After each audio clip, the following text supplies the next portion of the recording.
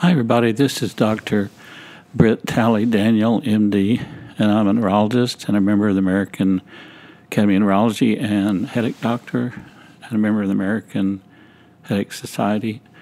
And I've written a big textbook on migraine, which is 400 pages with 900 references, and I have a smaller book on migraine called the Mini Neurology Series Volume 1 on migraine. And both those are listed on Amazon under my name, and I also have a big blog on migraine um, on the internet, which is www.drmigraine.com. This is podcast number one. I'm going to be talking about migraine without aura. And to start it, I'm going to describe a typical doctor patient relationship with a patient coming to see a doctor in his office. He's a headache doctor. So she, he gets her in the front of the office and brings her back and sits her down across from him and says, What brings you in today? And the patient says, My headaches. I used to get them once or twice a year, but now lately they're more often. Well, lately been more frequent and intense. The doctor asked, Do you have more than one kind of headache? No, just the same one that keeps coming time again, the woman answered. Would you please describe a typical headache? Then the doctor asked. Take me through it from beginning to end. Well, sometimes I can tell it's going to come on when the pain starts. It's hard to describe, but I feel elated or I have a lot of energy or something like that. This occurred hours to half a day before the headache starts. Then usually they start right here behind my right eye. And the doctor watched her put her right index finger over her right eye. There, it feels like a white hot poker or a needle or sometimes it throbs or feels like someone is trying to push my eyeball out. Anything else? The doctor asked. Well, that's usually it, she said, but sometimes they start in the back of my neck. Then, after an hour or so, the pain comes over my head on one side and locates behind my right eye, like I just told you. That is that headache just like the first one you told me about? Pretty much. They just start differently. How frequently do you get a headache? The doctor asked. On a monthly basis she stated, well, usually three or four a week if it's a good, I'm sorry, three or four a month if it's a good month. Five sometimes they're bad. What's the duration of your headaches? The doctor asked. It used to be I'd take two extra Excedrin and lie down for an hour, and my headache would go away in three or four hours. Then, when I got my first job, I worked as a teller at a bank, and my headaches returned then. They'd last all day long if they started in the morning, or half of the day if they came on at lunch. And sometimes it would still be there the second day, although usually diminished somewhat, but not always. I have a headache three or four times a month, especially before my period starts. Do you have a headache a few days before or after your monthly flow starts? Well, usually the day before I start, and those are the worst ones, the patient said. The worst? The doctor said, yes. More severe, more nausea. I go to bed, the patient replied. How long have you had that many per month? The doctor asked. Too long for me, the patient said, shaking her head, and running her hand through her hair. But to answer your question, I would say for about a year or so. I want them to stop. What's the duration of a typical headache? The doctor asked.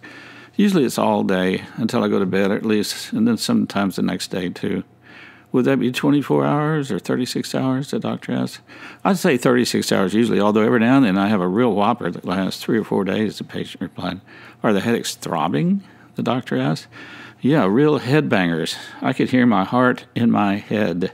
It throbs, it pulses. I just want to wrap something cold and tight around my head, the patient said. On a scale of 1 to 10 for grading headache pain intensity, where 10 is the worst, what would be a number that would fit your headaches? The doctor asked. Ha, 10 plus, the patient said. Do you have any associated symptoms with a headache? You know, like nausea or vomiting?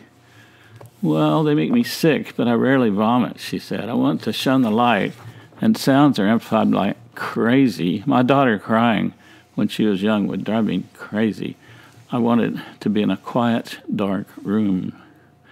Some persons find that odors or movement make their headaches worse. Does that ring any bells? The doctor asked. We had to move rooms in a hotel once, and boy, was my husband mad because we waited.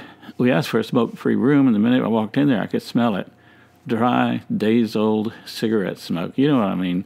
I got an immediate migraine. I had my husband called to change us to another room, which thankfully he did. What about movement? The doctor asked. Does that make your headaches worse?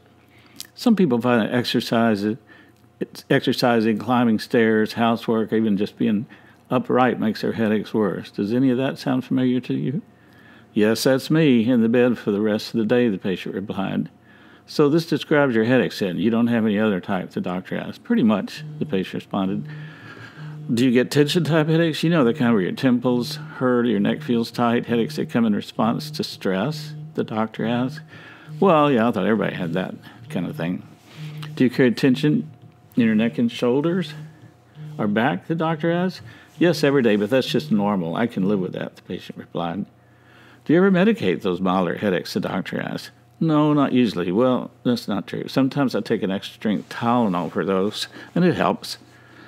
What about the more severe headaches? What do you take for those? The doctor asked. Extra strength Excedrin, two at the onset and two to four later at two hour intervals, the patient replied. How well does the Excedrin work? The doctor asked. The patient shrugged and held her hands palm up. I wouldn't be here if I what I took worked. What I, the patient said, well, of course not, the doctor replied. Really, the best thing that works is just to go to bed. If I can get to sleep, I usually wake up in a few hours and the headache is gone, the patient said. Do you get sinus headaches, doctor? The doctor asked. Yes, sometimes they're located over below my eyes. They're not even very severe. I can usually get rid of them with Tylenol sinus medication. With a sinus headache, do you have a nasal discharge, the doctor asked. Sometimes I have a clear sinus discharge. Most of the time, it's just that my nose is stopped up and I can't breathe. My eyes water and it feels like pressure in my sinuses, the patient said. I have some quick yes or no type headache questions, the doctor said. Does anyone in your family have headache? My mother does, and her mother, and oh, my sister has sinus headaches too. What about motion sickness? Nausea with driving in the car or in a boat? I've had that all my life. My daughter does too, although I, as I get older, it doesn't seem to bother me so much.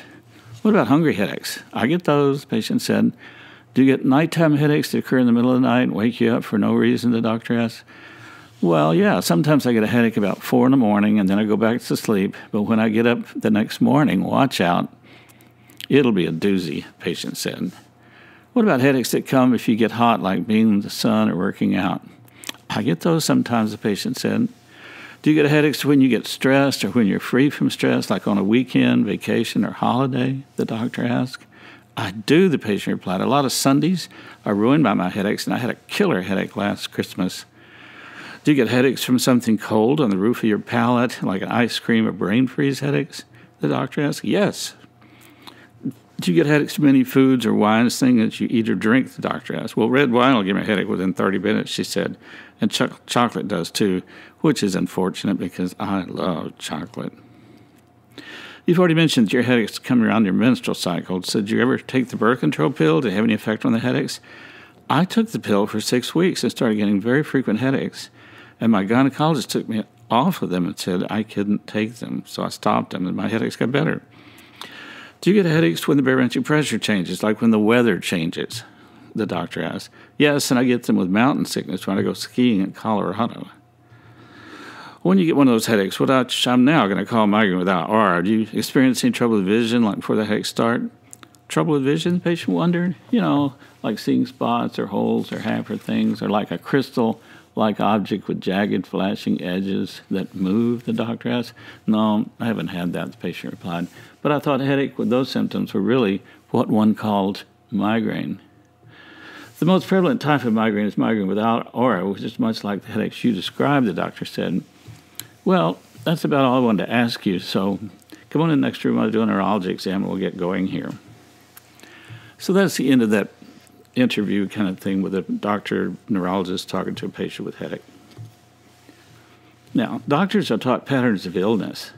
Over 90% of clinical diagnosis is the doctor's active act of listening to the patient's symptoms, asking the right questions, and then assimilating what has been learned into a diagnostic formulation. All of this applies to migraine. So, migraine can be diagnosed or is listed as having features according to the International Classification of Headache was the BOSS document for Migraine for the World as the following. It has A, five attacks, which are similar to have features of B and D, which I'll go into in just a second. Five attacks. The attacks last four to 72 hours. C, at least two of the following symptoms occur with the headaches. They're one sided, they're pulsing in quality, moderate to severe, usually over level five, and they inhibit daily, inhibit daily activities, and they're aggravated by walking in stairs or getting up and moving around.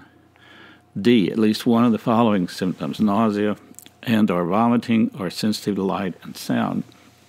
And then E, history of physical neurologic exam are basically normal. I want to mention what are called migraine comorbidities. Excuse me. Comorbidity means these two things go together, co with, um, like cooperate, the word cooperate. So there are certain medical problems which come with migraine, and those are said to be comorbidities of migraine. An example would be respiratory conditions such as allergic rhinitis and asthma, cardiovascular conditions like mitral valve prolapse, hypertension, angina, myocardial infarction, Raynaud syndrome, syndrome, stroke, hypertension, endocrinological features such as thyroid disease, GI or gastrointestinal problems, ulcer disease, colitis, irritable bowel syndrome, rheumatologic features like uh, fibromyalgia, neurologic conditions, epilepsy, tension type headache, and essential tremor. Psychiatric problems such as mood disorders like bipolar disorder, depression, generalized anxiety disorder, panic disorder, agoraphobia, chronic fatigue, and or obsessive compulsive disorder. So all of those can relate to migraine. And generally the doctor should try to get a handle on that and see if that comes with one patient. Next, I want to talk about the temporal profile of a headache. They really come on. There's what can be said. There's a prodrome of a migraine. There's the attack of the migraine, and then there's a postdrome or the post part of the attack. So some patients get prodrome or premonitory symptoms that occur several hours to a day or so before the headache starts, and the patient then may have symptoms of fatigue, trouble concentrating, neck stiffness, sensitivity to sound or light, nausea, blurred vision, yawning, pallor, and elated feeling, crude food, I'm sorry, food cravings for sweet things to eat, feeling thirsty, drowsy, irritable, or feeling depressed. And the patient will know these symptoms.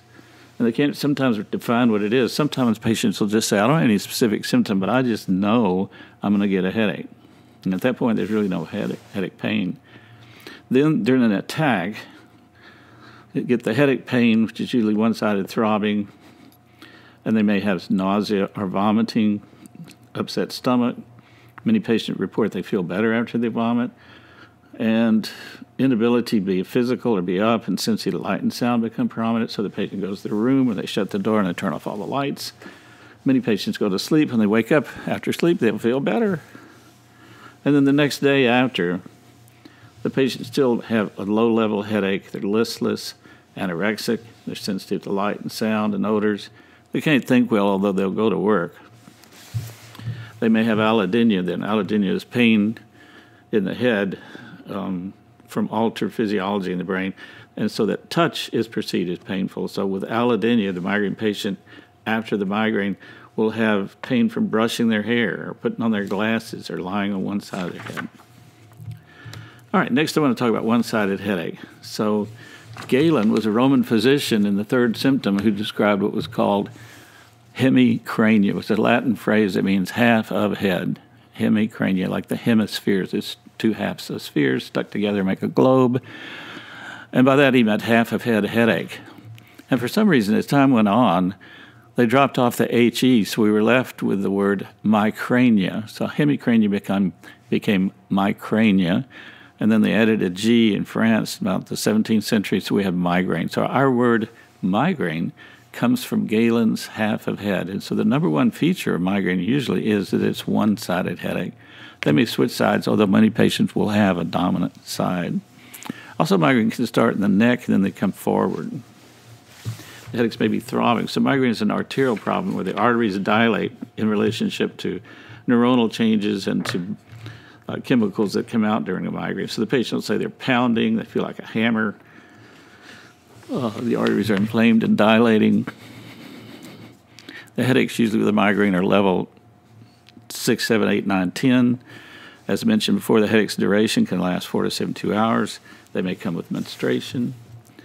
Uh, to have what are called menstrual headaches, the International Classification of Headaches says you have to have, um, out of two or three menstrual cycles, you have to have a headache that starts the day of bleeding, or two days before, or two days after. And there's also a new syndrome where some people have, women will have a migraine that comes at the end of their cycle. If they bleed five days, they'll have a migraine that starts at the fifth day, for instance. Migraine in pregnancy. Well, for many people, particularly women that have a menstrual headache, have an estrogen relationship with their headache, and that's a genetic thing. There's a high estrogen level during pregnancy, so migraine does really well during that time. And then when they bear their child and the headache cycles come back, they'll start having menstrual headache again. Now, the brain of the patient with migraine is inflamed, so they have sensitivity to light, movement, and sound, and also odors, as we've said before. So, thank you very much for listening to this. Is Dr. Daniel signing off.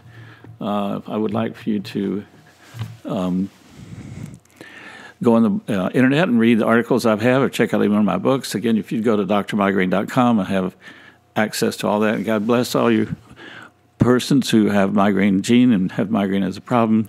I'll see you later. Thanks a lot for listening. Bye bye.